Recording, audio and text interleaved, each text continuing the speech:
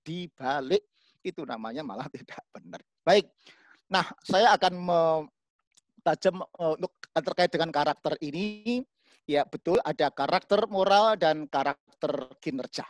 Karakter moral itu relevan untuk anak-anak SD, SMP. Ya, saya kira untuk anak-anak SMK sudah harus dilatih karakter kinerjanya. Apa bedanya? Karakter moral itu ya sopan, sholatnya tertib, doa, ya, kira-kira begitu. Tetapi jangan kemudian karakter moralnya bagus ya doanya bagus santri tetapi dijak kerja ngantuan gitu ya. Jak kerja rasa-rasen ya. Tidak mempunyai cara berpikir yang sistematis. Itu karakter kinerja ya. Ini meminjam istilah eh, Pak Gubernur DKI Pak Anies Baswedan. Jadi harus dua ya. Santri tetapi mindsetnya open mind kira-kira begitu santri leadershipnya kuat Kira-kira begitu. Nah, karakter kinerja ini sesungguhnya juga rumah sangat berperan besar. Tadi Pak Prof. David, Pak Daniel mengatakan, pandemik ini membuat peran sekolah semakin menyusut, peran keluarga semakin besar.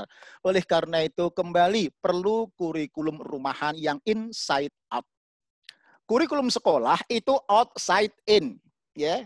Jadi kurikulum pesanan tanda petik entah pemerintah entah entah entah uh, apa um, industri untuk seperti ini. Kalaupun dibagi hanya IPA, IPS, bahasa atau SMK kira-kira begitu. Sementara potensi Ananda tidak bisa dipilah hanya dengan itu. Oleh karena itu butuh kurikulum rumahan yang inside out memperhatikan potensi-potensi Ananda. Nah, kemudian uh, Prof. Dalil mengatakan relevansi lebih penting ketimbang kualitas yang macam-macam. Relevansi itu maksudnya adalah kita e, mumpung sekolah, mumpung banyak di rumah, monggo para orang tua temukan potensi, bakat, ya, passion Ananda. Uh, sehebat-hebat psikotes, ya, orang tua, ibu, ayah lebih tepat menemukan potensi Ananda. Nanti kalau waktunya cukup bisa kita diskusikan dengan cara apa yang ia baca, apa yang ia uh, bicarakan, apa yang tuliskan. Empat item tadi. Kemudian kalau dia nganggur, apa yang ia kerjakan. Kadang anak kita suka sesuatu, nggak suka sesuatu. Eh, semangat diajak ngomong sesuatu bahasa, tetapi nggak nggak suka diomong tentang biologi. Ya, yang lain eh, apa namanya bermain, bermain itu suka bongkar pasang, meskipun iso bongkar nggak iso pasang. Ya, kita mungkin itu. Nah, senyampang kita banyak di rumah ber, bertemu dengan Ananda mestinya tidak menjadikan otak orang tua uring-uringan, tetapi ini kesempatan untuk menemukan bakat, potensi, atau passion Ananda. Bapak Ibu, kalau panjenengan menemukan bakat Ananda, mohon maaf, jangan bilang, jangan pernah bicara bilang anakku nggak punya bakat apa-apa. Kalau Anda berkesimpulan begitu, Anda telah menghina Allah dan melecehkan atin. Ayat 4, Lakat halaknal insana fi ahsani takbim. Kalau kita nurut di ayat itu, saya pastikan anak panjenengan pasti akan hebat melejit di bidangnya masing-masing. Sedikit cerita. Anak saya Mutiah, ini Pak Cip kenal, Pak Priyoto, eh Pak Priyoto, Pak Nasir juga kenal. Itu kelas 2 SD kalau main-main itu pasti dia pegang pensil gambar tidak hanya di buku, di whiteboard. Whiteboard kurang lebar, dinding, gambar-gambar kereta api gitu. Itu mulai umur 3-4 tahun begitu. Umur 2 tahun sudah bisa menggambar orang. Kelas 6 SD sudah bisa menggambar komik, bisa dibaca. Ketika lulus SMA uh, eh, aliyah di Insan Cendikia Serpong, minta arsitektur ITE, arsitek, langsung saya iakan. Alhamdulillah arsitek ITB diterima, ITS ITB tanpa tes, ITS dengan tes. Oke, okay? S1 di ITS lulus terbaik, tercepat, S2-nya cum laude. Ya, itu pun juga dia belajar bahasa Inggris, bahasa Perancis, bahasa Arab dan bahasa Jepang. Nah, kok bisa begitu? Meskipun kuliah di arsitek hampir sama dengan kedokteran, membuat dia seminggu dua kali nggak tidur karena membuat perencanaan gambar macam-macam, dia enjoy melakukannya, nggak pernah mengeluh.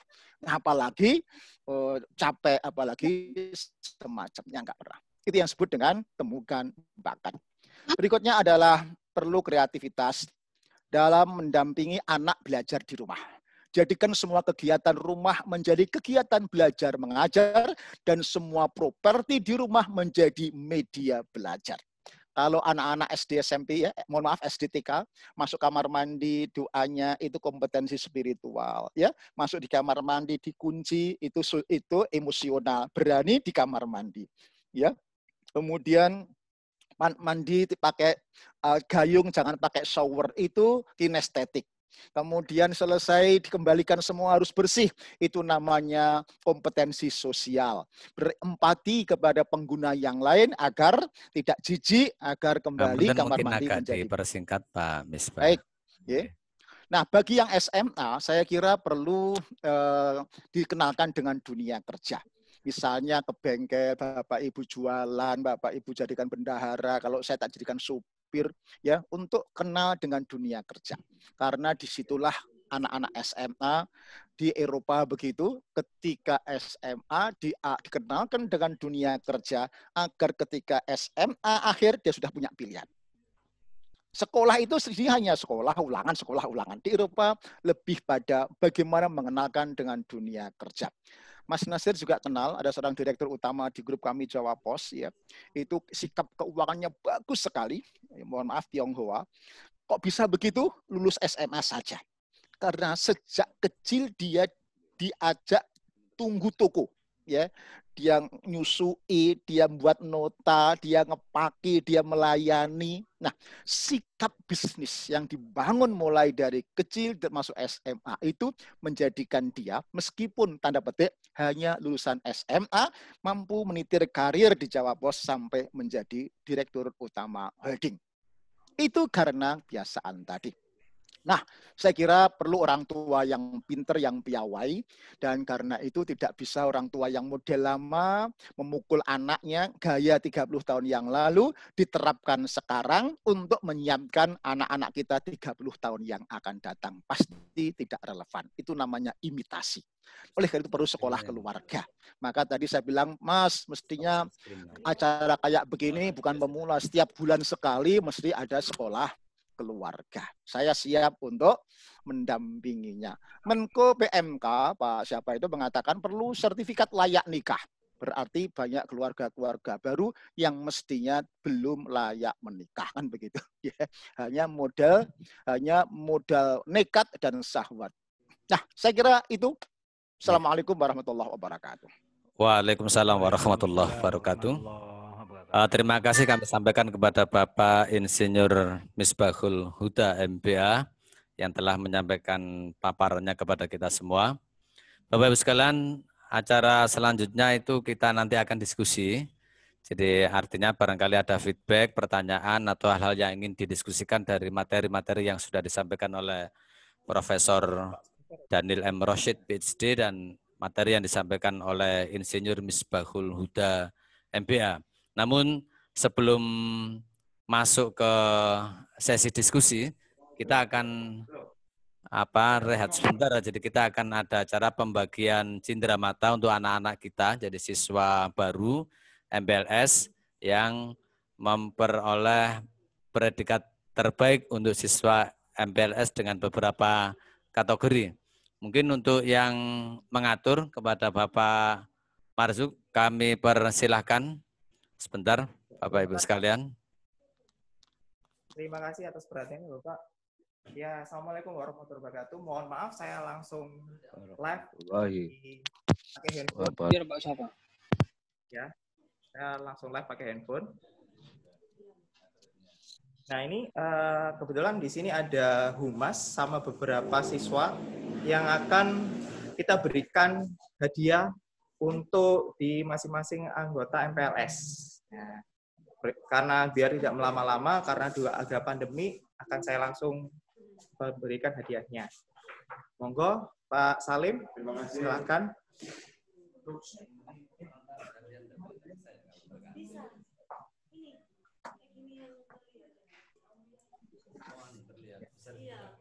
Ya, tadi yang dari beberapa dari yang laki-laki, sekarang yang perempuan. Yang perempuan silakan.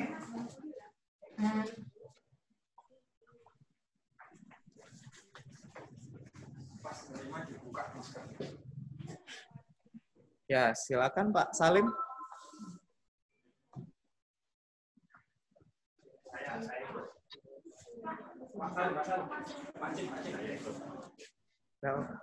langsung.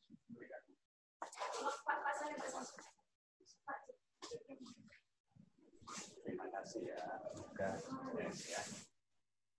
Ya, demikian tadi ada dari humas dan dari kepala sekolah yang secara langsung memberikan hadiah kepada uh, siswa baru untuk di MPLS yang terbaik menurut guru advisor. Nah, di sini uh, kita sebentar kita mau take foto sebentar. Yang laki-laki silakan, Pak.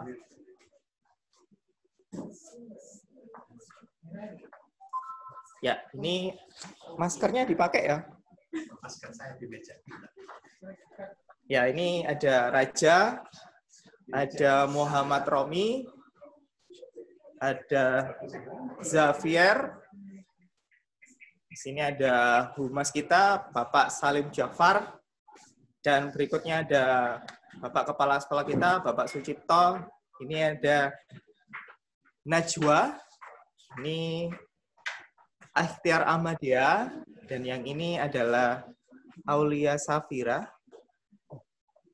Terus Sabrina Azalia, dan ini adalah Safa Talita.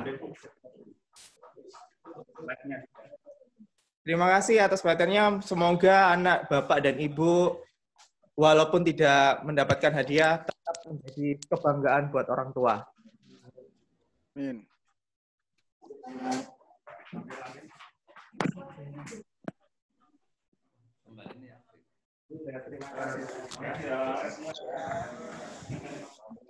Datanya ini benar ya? Ya, fix ya?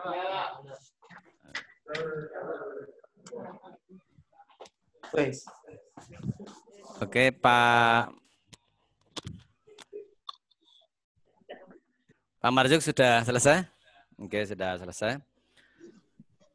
Bapak Ibu sekalian, sebagaimana tadi saya sampaikan, jadi setelah kita menyaksikan beberapa pemberian cindera mata kepada anak-anak kita yang berprestasi di MBLS kemarin, sebagaimana tadi saya sampaikan, kita akan meneruskan waktu kita untuk diskusi ya. Barangkali ada feedback, masukan, pertanyaan, atau hal-hal yang ingin didiskusikan dari materi yang disampaikan oleh Prof. Daniel dan Bapak Insinyur Misbahul Huda tadi.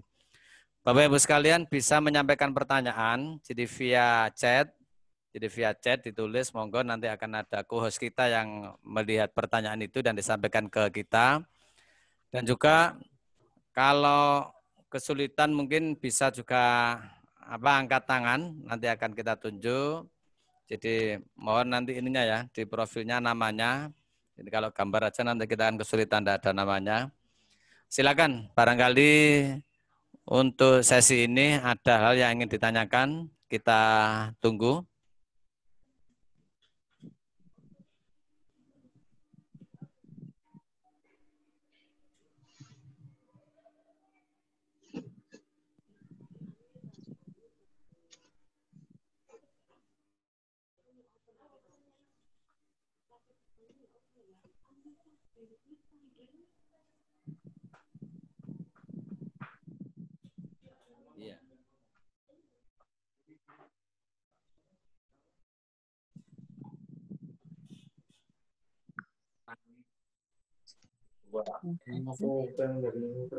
Silakan barangkali ada yang disampaikan. Atau ketik di chat, Bapak Ibu sekalian monggo enggak apa-apa. Kita masih tunggu.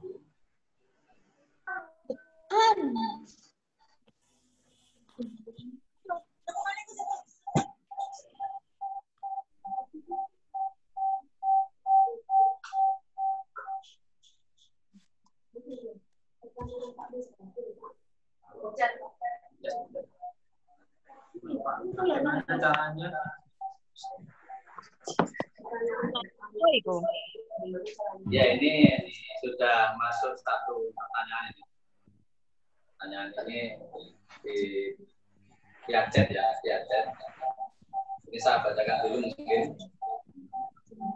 Saya baca pertanyaan buat Pak Musbabul bagaimana caranya menggali potensi anak saat di rumah dari Pak Mujono, Wali Murid Denis Firmansyah, IPA 1. Itu kan Pak Misbah Mungkin sambil nunggu yang lain, barangkali Pak Misbah bisa sama respon pertanyaan ini. Monggo Pak Misbah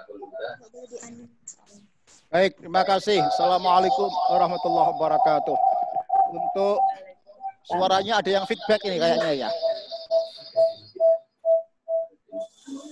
Mungkin ada yang on dua dua dua. Oke, sebentar, sebentar. Oke, Kamu, sudah monggo. Baik untuk Pak Jutawan. Oke. Apa kabar Pak Jutawan? Alhamdulillah baik. Oke. Okay. Pak di di Duh, Bapak Eka sih. Itu Pak Mujiono,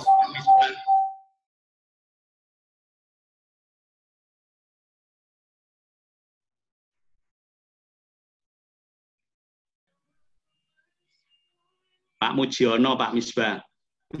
mengatasnamakan Pak Jutawan.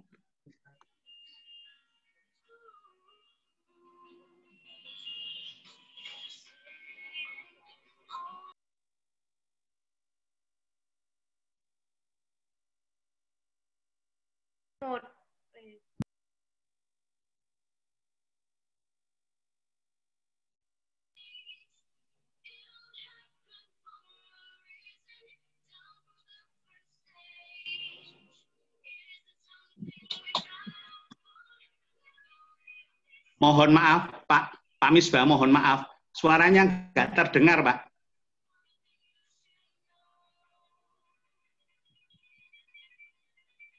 Sorry, unmute. Oh iya, iya, ke, ke, ke, ketekan, ketekan. Mungkin dari ya, di, dari diulangi lagi aja Pak Misbah. Ya, dari dari host di unmute semua jadi ikut kena. Oke, saya ulang. Jadi ada empat lingkaran Pak Mujiono yang kita siapkan untuk menjawab empat pertanyaan ini. Yang pertama adalah apa yang Ananda kerjakan. Selain tidur dan macam-macam, dia mengerjakan apa? Oke, bermain. Bermain apa? Selain game loh ya. Ya, apakah dia waktu kecil melukis atau bongkar pasang atau bengkel atau bertanam? Tulis satu, dua, tiga. Yang kedua, apa yang ia baca atau yang ia bicarakan, seperti pesan Pak Daniel tadi. Kalau dia uh, diajak ke toko buku, biasanya kalau ada anak waktu masih kecil-kecil itu, tiap bulan mesti tiap tanggal muda itu tak ajak ke toko buku. Masing-masing bebas membeli satu buku pelajaran, dua buku bacaan. Nah, ketika di kasir saya cek anak ini beli buku apa, B beli apa, C beli buku apa. Tulis satu, dua, tiga. Kemudian dites dengan diskusi, ngobrolan begitu. Si A suka belajar bahasa, si B suka diajak diskusi soal misalnya kesehatan dan seterusnya dan seterusnya. Tulis satu, dua, tiga. Berikutnya apa yang ia kuasai. Ah, bahasa Jawanya gatean. You know gatean Pak Mujiono? Gatean itu apa yang dia cepat ngerti. Nah, ada anak-anak yang pinter bahasa Inggris, bahasa Indonesia, tapi lemah matematika. Ada yang sebaliknya. Nah, tulis satu, dua, tiga. Biasanya related dengan nilai di sekolahnya. Ya, kalau kimia pinter biasanya ya kuat di situ. Kalau matematika koncone fisika biasanya. Tapi matematika jelek ya biasanya ya fisika, kemudian kimia ya ikut jelek. Mungkin ada kehebatan di komputer atau di bahasa. Oke. Yang nomor empat, satu, dua, tiga. Apa yang ia miliki? Yang ia punyai. Anak-anak, dia punya uang di dompetnya, uang saku. Kadang-kadang ketika kemudian dia butuh sesuatu, eh, butuh alat sekolah, pensil, buku, dia masih minta uang orang tuanya. Tetapi someday anak itu membeli sesuatu dengan uang sakunya sendiri. Nah, dia beli apa? Kalau dia membeli sesuatu dengan uangnya sendiri, rela, pasti sesuatu itu sesuatu banget baginya. Satu, satu, dua, tiga, ditulis. Nah, empat lingkaran tadi didekatkan, ya, intersection, masih ingat ya? Intersection, Bapak Ibu? Masih ingat? Irisan, matematika SMA atau jangan-jangan dulu nggak bisa, sekarang lupa. Gitu. Irisan di antara empat tadi yang berdekatan itu apa? Nah, yang berdekatan itu kurang lebih itulah menjadi passion, potensi anak-anak kita. Nggak bisa kelihatan, harus digali memang. Namanya potensi, kekuatan yang terpendam. Nah, terpendamnya macam-macam. Ada yang cetek, ada yang dalam, ada yang dalam banget, kira-kira begitu. Nah, oleh karena itu maka uh, harus digali. Nah, menggalinya dengan yang saya sampaikan empat pertanyaan tadi. Nah, setelah ketemu yang di tengah itu apa? Mungkin bukan satu dua, bisa tiga. Itu barangkali sekitar itu menjadi passion potensi Ananda diperdalam dengan in-depth interview. Nah, in-depth interview itu senyampang Ananda di rumah ya, diajak macul, diajak bercocok tanam, diajak ke gudang, diajak uh, kulaan. Anak-anak di rumah tak ajak kulaan. Meskipun saya sendiri sebetulnya buka misalnya agen uh, ayam apa ayam frozen ya. Untungnya nggak seberapa. Sengaja istri tak ajak latih, anak-anak tak ajak kulaan ya. Saya sendiri usung-usung ayam itu. Tanya Pak Nasir. Kadang-kadang ke Pak Nasir saya antar sendiri, tidak pakai gojek. Saya antar sendiri ke Pak Nasir. Untuk apa? Melatih anak-anak. Ini susahnya cari uang, saya bilang begitu ya diguyoni sama sama pabriknya sana. Baru sekali ini ada kulaan ayam frozen mobilnya Pajero yang yang ambil mantan direktur utama kan. Diketawa semua. Itu memang ongkos sebuah uh, pembelajaran. Begitu sementara waktunya berbagi. Sun. Matur nuwun uh, Bapak Misbah Luda, jawaban yang disampaikan ke Bapak Ibu sekalian. Barangkali masih ada lagi mungkin satu dua pertanyaan Bapak Ibu. Kita masih ada waktu 5-10 menit. Monggo, barangkali yang lain ada.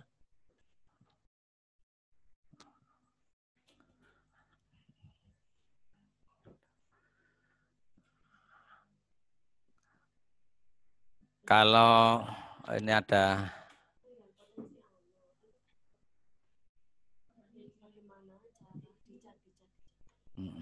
Ada Pak Dedi. Oke, ada Pak Dedi sebentar. Ya, ini ada Pak Dedi. Saya baca pertanyaannya. Dari Pak Dedi ini wali murid dari Afril Nadia Javana 10 IPA 2. Assalamualaikum warahmatullahi wabarakatuh. Mohon izin bertanya perihal potensi anak. Bagaimana caranya mengembangkan potensi anak yang secara minat bakatnya sudah terlihat? Hanya saja secara komunikasi verbal kurang mampu mempresentasikan sesuatu. Ini tidak ditujukan ke salah satu pembicara ya. Uh, mungkin sebelum ini barangkali mungkin Prof Daniel bisa berikan apa komentar atau respon terhadap pertanyaan ini. Monggo mungkin Prof Daniel terlebih dahulu dari Pak Dedi nih Prof. Baik Pak Dedi, tadi saya kira sudah cukup dijelaskan oleh Pak Misbah. Jadi disalurkan aja. Jadi kalau sudah kelihatan dia punya bakat di bidang olahraga, ya diberi kesempatan untuk berolahraga sesuai dengan uh, passionnya tadi itu. Kalau dia suka uh, kelihatan suka masak memasak, ya didukung, diberi kesempatan yang luas. Kalau dia suka masak memasak, sehingga berkembang. Ya, walaupun tadi anaknya tidak bisa mengatakannya secara verbal, eh, tadi kalau bakatnya udah sudah kelihatan diberi kesempatan aja disalurkan ya kita dukung kita beri fasilitasi. Kalau eh, gagal kita tidak apa eh, eh, kita beri semangat terus supaya dia bisa mencoba mencoba terus ya sampai dia menguasai ya. Saya kira itu ya kita memberi kesempatan kepada bakat anak-anak kita untuk berkembang ya. Jadi melalui fasilitasi dan dukungan ya moral maupun uh, kesempatan tadi ya. Saya kira begitu Pak Dedi ya. Monggo Pak Pak Misbah kalau mau menambahkan. Barangkali mungkin tambahan. menambahkan Pak Dedi uh, anak-anak saya yang paling kecil juga tidak pede. Yang ragil tidak pede menjadi pemimpin berbicara begitu. Lalu saya jemput bola, ketemu wali kelasnya, lalu membuat kesepakatan. Ya, uh, ada special treatment saya dengan wali kelas untuk nggarap anak ini supaya pede, uh, verbal berkomunikasi dan macam-macam. Barangkali karena dia anak ragil sering dibully oleh kakak-kakaknya, maka tugas saya di rumah adalah menyelesaikan agar si uh, kakak tidak membuli adiknya. Wali kelas kemudian memberikan tugas banyak kepada Ananda ini untuk tampil baca puisi, kemudian membaca apa, kemudian kemudian apa namanya menggarap matematika di depan, untuk apa pokoknya banyak ditugasi ya agar dia pede untuk berkomunikasi verbal tadi. Itu by, by, by design, by design, tidak kemudian. Akhirnya anak itu kelas SMP, kelas berapa jadi ketua eh, ketua apa namanya mentor sebaya, ketua mentor dan terbaik. Uh, sampai depan kemudian jadi ketua kelas. Oke, okay? eh, SMA kelas 1, kelas 2, dia jadi ketua OSIS bidang akademik dan pembinaan prestasi. Artinya, anak yang semula nggak pede, kemudian ngomong juga sosok solor cepat begitu, kalau digarap secara seksama, rumah sekolah, ya mempunyai uh, special treatment, ya, maka insya Allah tetap bisa diperbaiki. Monggo dicoba. Dan itu butuh proaktif orang tua ya yang datang ke sekolah ke wali kelas uh, Ustazah, Ustadz, kok ayat saya seperti ini? Mohon ayo ada special treatment agar kompetensinya meningkat. Pengalaman saya, eh, insya Allah masih bisa diperbaiki. Didorong jadi aktivis juga, itu akan memperbaiki juga. Matur nuwun. Oke. Matur nuwun Bapak Misbah, jadi bagus sekali ya. Jadi pertanyaan-pertanyaan yang sudah masuk tadi. Jadi intinya kalau kita lihat tadi memang satu butuh pengembangan, butuh wadah, tinggal butuh wadah Pak Dedi, wadah yang bisa mengembangkan, lebih mengembangkan potensi anak yang sudah terlihat.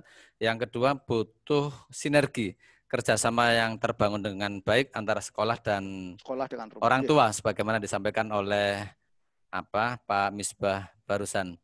Bapak Ibu sekalian, terakhir barangkali ada closing statement barangkali dari Prof. Daniel sama Pak Misbahul Huda.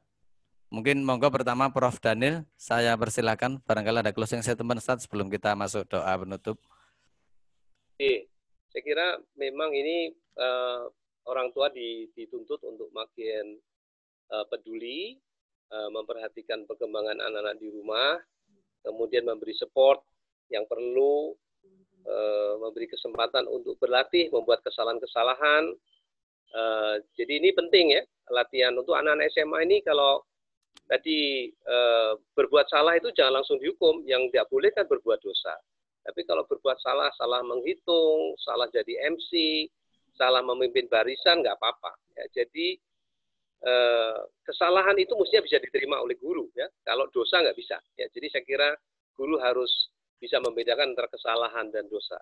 Dan saya ya. kira ya. ini memang okay. uh, salah satu uh, apa kesempatan yang penting untuk pengembangan karakter tadi adalah praktek karakter.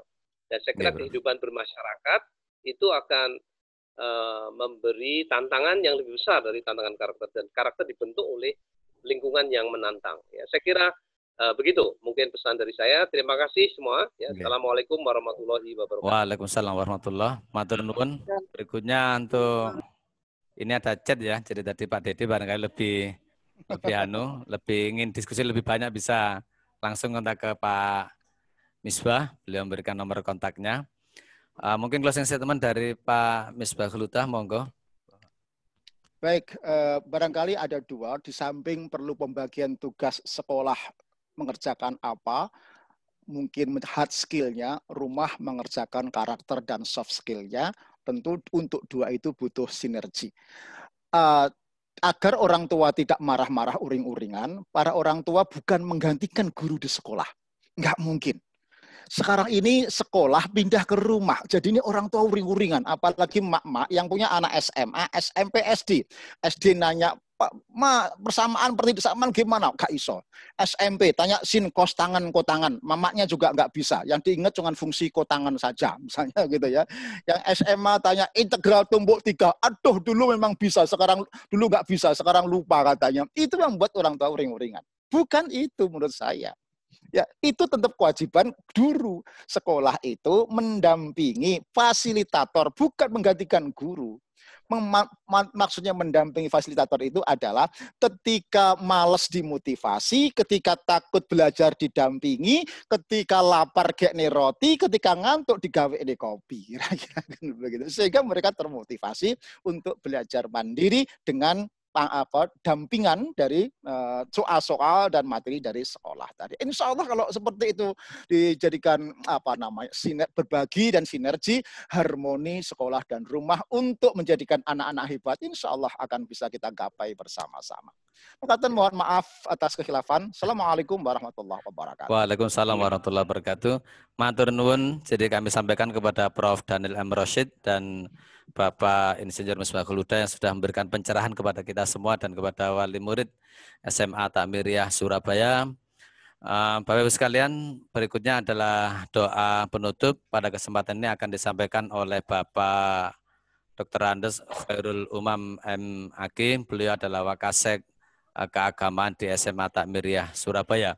Kepada Bapak Dr. Andes Khairul Umam M. Aki kami persilahkan untuk memimpin doa.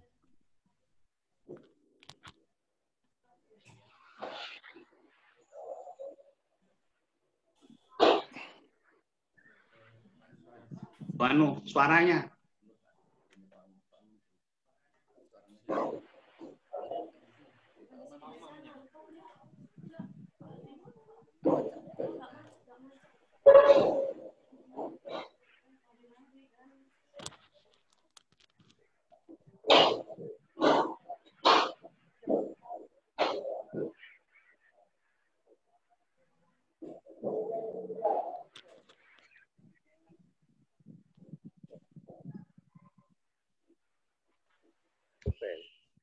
When?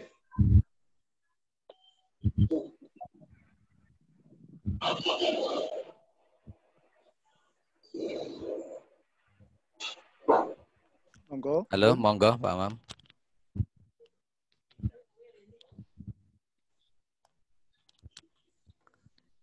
Sebentar Bapak sekalian.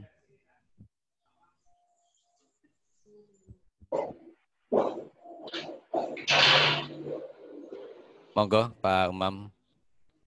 Umam,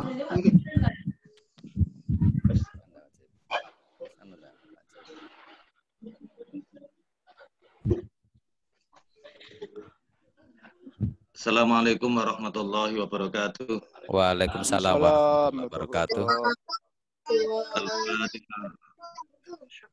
Bantu.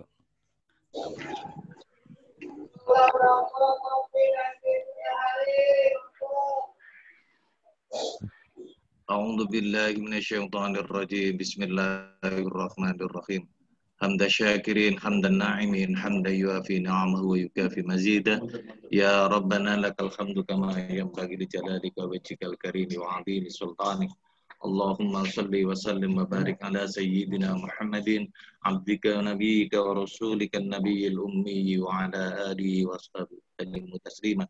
بقدر عظمة ذاتك في كل وقت وحين اللهم اغفر لنا ذنوبنا ولوالدينا ولمشايخنا ولجميع المسلمين والمسلمات والمؤمنين والمؤمنات الأحياء والأموات إنك سميع قريب مجيب الدعوات ربنا ظلمنا أنفسنا وإن لم تغفر لنا وترحمنا لنكونن من الخاسرين Amin. ربنا اغفر لنا ولإخواننا الذين سبقونا بالإيمان ولا تجعل في قلوبنا غلا للذين آمنوا. ربنا إنك رؤوف رحيم. Amin ya Allah.